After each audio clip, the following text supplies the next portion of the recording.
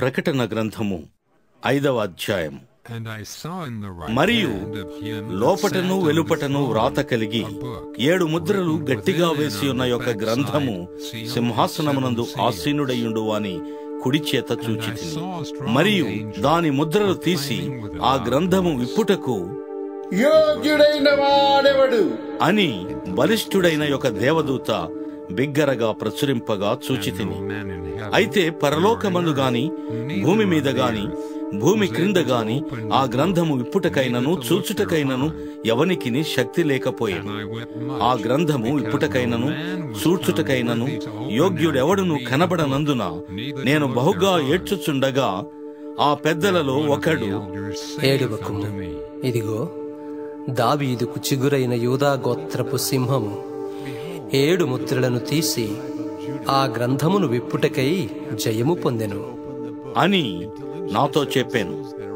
మరియు సింహాసనమునకును ఆ నాలుగు జీవులకును పెద్దలకును మధ్యను వధింపబడినట్లుండిన గొర్రెపిల్ల నిలిచియుండుట నిలిచిండుట stood ఆ గొర్రె ఆ గొర్రెపిల్లకు ఏడు కొమ్ములను ఏడు కన్నులు నుండి.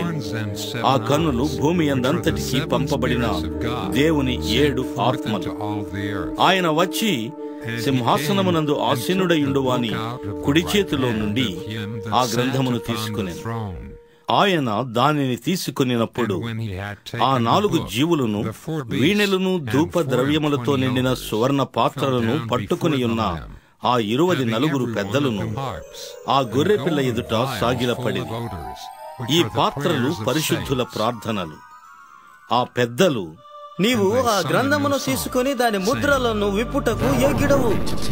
నీవు వధింపబడిన వాడవై నీ రక్తం ఇచ్చి ప్రతి వంశములోను ఆయా భాషలు మాట్లాడు వారిలోను ప్రతి ప్రజలోను ప్రతి జనములోను దేవుని కొరకు మనుషులను కొని మా దేవునికి వారిని ఒక రాజ్యముగాను యాజకులను గాను చేసితివి. గనుక వారు భూలోకమందు ఏలుదురని క్రొత్త పాట పాడుదురు.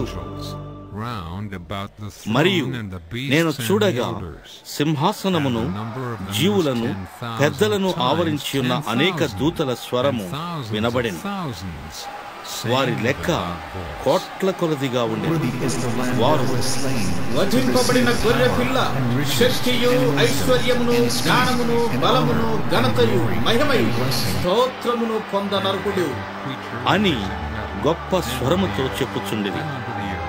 అంతటా పరలోకమందును భూలోకమందును భూమి క్రిందను సముద్రములోను ఉన్న ప్రతి సృష్టము అనగా వాటిలోనున్న సర్వమును సింహాసనాసీనుడైన వానికి గొర్రె పిల్లకును స్తోత్రమును ఘనతయు మహిమయు ప్రభావమును యుగ యుగములు కలుగునుగాక అని చెప్పుట వింటిని.